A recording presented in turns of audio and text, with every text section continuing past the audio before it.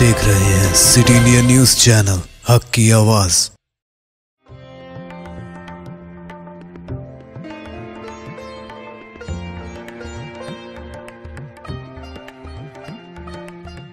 वालेकुम नाजरीन, city India news में आपका इस्तकबाल है, मैं हूँ नौशीन।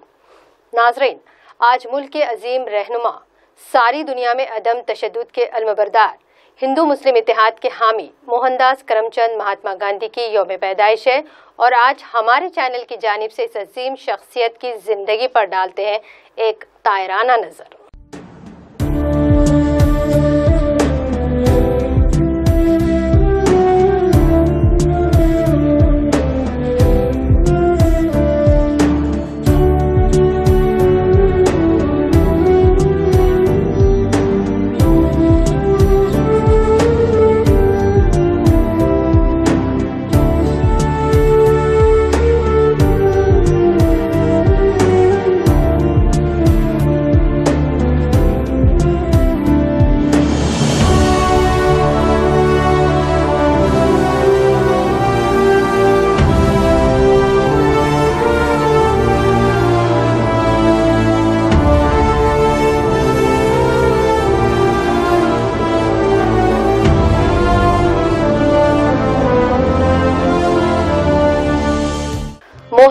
करमचंद गांधी गुजरात, हिंदुस्तान के मगरबी साहिली शहर, पोरबंदर, जो इस वक्त मुंबई प्रेसिडेंसी बरतानवी हिंदुस्तान का हिस्सा था 2 अक्टूबर अठारह सौ उनहत्तर में पैदा हुए। करमचंद गांधी उस वक्त पोरबंदर नामी एक छोटी सी रियासत के दीवान, यानी वज़ीर आज़म थे। मोहनदास गांधी उनकी चौथी बीवी के बेटे थे। मोहनदास करमचंद गांधी के इब्तदाई तालीम वहीं पोरबंदर में हुई। पोरबंदर में उनके मिडिल स्कूल और राजकोट में उनके हाई स्कूल की तालीम हुई। दोनों अदवार में तालीमी सतह पर गांधी जी एक औसत दर्जे के तालब इल्म रहे। इन्होंने अपने मैट्रिक का इम्तिहान बिदाउनगर, गुजरात के सलमदास कॉलेज से कुछ परेशानियों के साथ पास किया। इनका खानदान इन्हें बैरिस्टर बनाना चाहता था। लिहाजा अठारह सौ तिरासी जब मोहनदास गांधी तेरह साल के हुए तो उनकी शादी कस्तूरबा से हो गई। उनसे उन्हें चार औलादे हैं।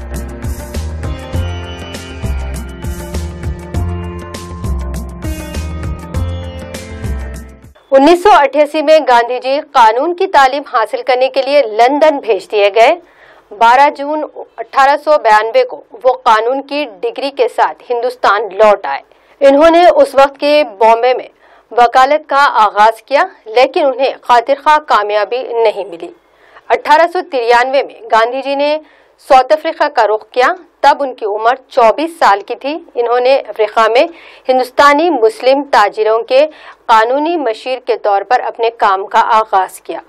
यही वजह थी कि गांधी जी पर इस्लामी तालिबात का भी असर रहा। जनूबी अफ्रीका में इन्होंने अपनी ज़िंदगी के 21 साल गुजारे, जहाँ इन्होंने हिंदुस्तानियों और वहाँ के काले लोगों के साथ नस्ली इम्तियाज़ को करीब से देखा। खुद उनके साथ कुछ ऐसे वाकयात पेश आए जिसमें एक बार अव्वल दर्जे का टिकट रखने के बावजूद उन्हें तीसरे दर्जे के डब्बे में सफ़र करने को कहा गया। और जब गांधी जी ने इससे इनकार किया तो उन्हें ट्रेन से उतार दिया गया।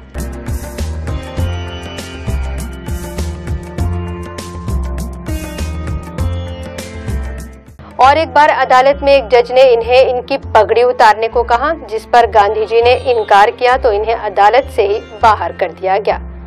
ऐसे ही कुछ वाकयात इनके दिल में गहरा असर कर गए। 1906 में ट्रांसनवाल हुकूमत की जानब से एक कानून निकाला गया, जिसमें हिंदुस्तानियों को अपना रजिस्ट्रेशन करवाने के लिए दबाव डाला गया, जिसकी शिद्दत के साथ मुखालिफत की गई। और जोहन्सबर्ग में 11 सितंबर को एक बहुत बड़ा एहतजाज मुनज़म हुआ। और वहाँ गांधी जी ने अमली सियासत में हिस्सा लिया। उस वक्त जारी पुरतशद मुजाहरों की मुखालिफत की और अदम तशद और सत्याग्रह, खामोश एहतजाज की बुनियाद डाली।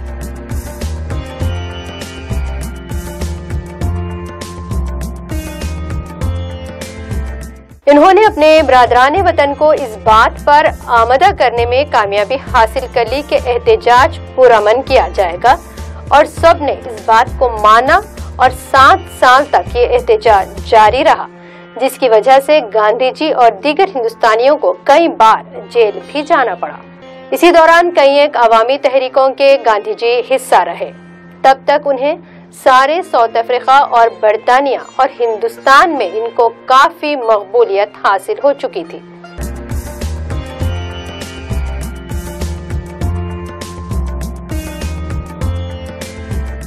उन्नीस सौ पंद्रह में गांधी जी जुनूबी अफ्रीका से वापस भारत लौट आए और पहली बार इन्होंने इंडियन नेशनल कांग्रेस के कन्वेंशन में शिरकत की। लेकिन बुनियादी तौर पर भारतीय मसाइल, सियासत और आवाम से तारुफ। गोपाल कृष्ण गोखले की तवसुस से हुआ, जो उस वक्त के कांग्रेस पार्टी के काबिल एहतराम कायद थे। इस तरह गांधी जी ने हिंदुस्तान में सियासी अमल का आगाज़ किया और वो जदोजहद आज़ादी में कदम जमाने शुरू कर दिए, लेकिन उन्हें सबसे बड़ी कामयाबी चंपारण में हासिल हुई।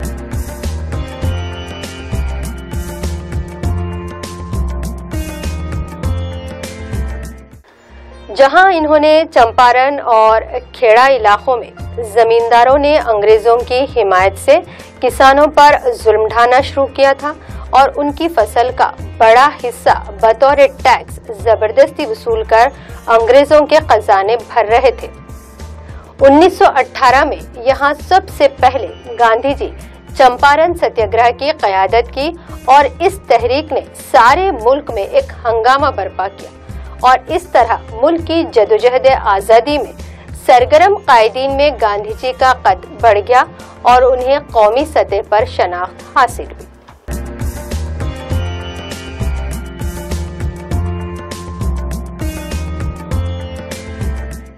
और फिर 1921 को कांग्रेस पार्टी ने गांधी जी को खसूसी अख्तियार के साथ ज़िम्मेदारी सौंपी, जिसके फौरी बाद जब हिंदुस्तान की आवाम के दिलों में जलियानवाला बाग के वाक़े पर कम गुस्सा था, गांधी जी ने सारे मुल्क में तहरीक अदम एतमाद का ऐलान कर दिया, जिसका ज़बरदस्त नतीजा बरामद हुआ।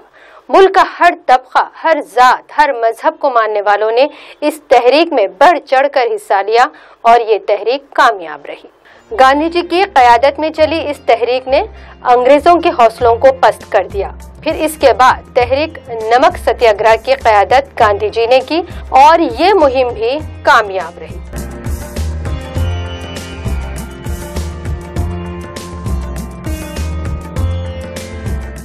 गांधी जी ने जब ये देखा कि खिलाफत को लेकर सारी दुनिया में मुसलमान सर पर कफन बांधे, खिलाफत के कातिमे की मुखालिफत कर रहे हैं तो इन्होंने भी तहरीक खिलाफत की तायद का ऐलान कर दिया। तो फिर क्या था? मुसलमानों ने गांधी जी के इस कॉल को अपने लिए बड़ी हिम्मत के तौर पर माना और वो भी पूरी तरह से गांधी जी के साथ जदोजहद आज़ादी की तहरीक में शामिल हो गए।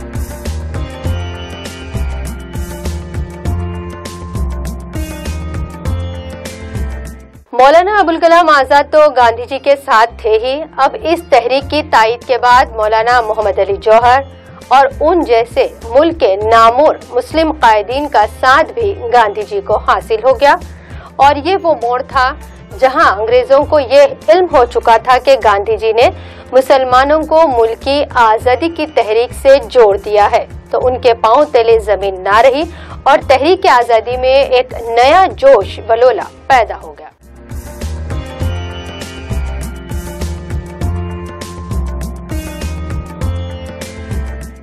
और इस नए जोश और वलवले के चलते फिर एक बार गांधी जी ने 1942 में हिंदुस्तान छोड़ दो तहरीक का ऐलान किया। इस मुल्क से अंग्रेज़ों के पाँव उखाड़ देने का काम किया। इस तहरीक के बाद अंग्रेज़ों ने यह समझ लिया कि अब उनका इस मुल्क में मजीद कुछ चलने वाला नहीं। और इस तरह 15 अगस्त 1947 को मुल्क आज़ाद हो गया।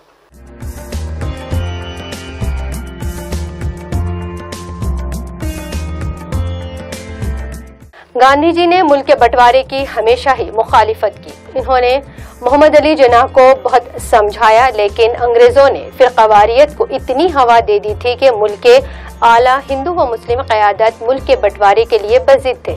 यही वो एक हार है जिसने तहरीक अदम तशद के अजीम रहनुमा महात्मा गांधी जी को शिकस्त दे दी, जिसके बाद गांधी जी टूट चुके थे और फिर पटवारी की अंग्रेज़ी और हिंदू, मुस्लिम दोनों फिरकों के मासूम लोगों की जाने जाय होता हुआ देख। गांधी जी और भी टूट गए और मुल्क में भाईचारगी और इतिहाद की कोशिशों में जुट गए। लेकिन फाशिस्ट ताकतों को ये मंजूर नहीं था और आखिरकार 30 जनवरी 1948 को नाथुराम गोडसे के हाथों गांधी जी कत्ल कर दिए गए।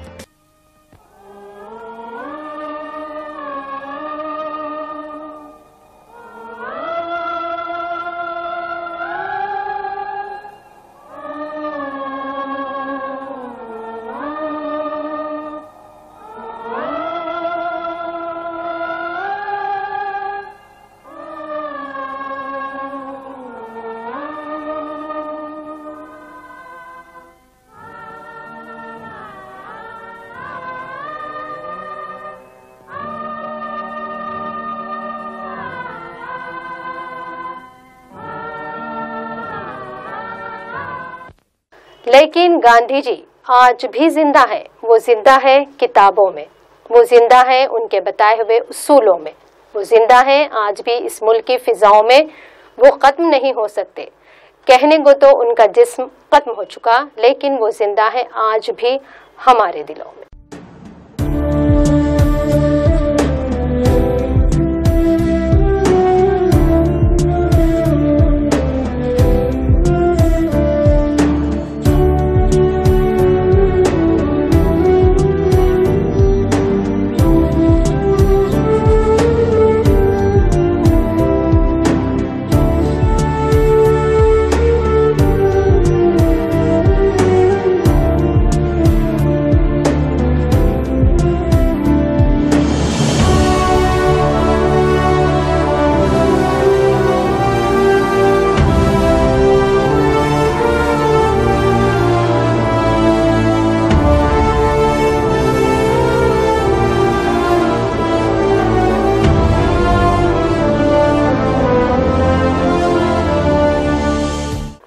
नाजरीन, अब मुझे दें इजाज़त और आप देखते रहिए सिटी इंडिया न्यूज़, हक की आवाज़।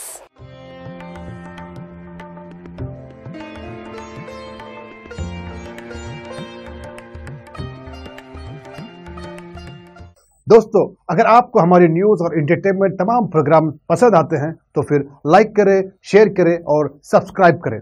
और हाँ बेल आइकॉन दबाना ना भूलें, ताकि आप हमारी हर न्यूज़ और हर एंटरटेनमेंट प्रोग्राम से अपडेट रहें। देखते रहिए सिटी इंडिया न्यूज़। हक की आवाज़।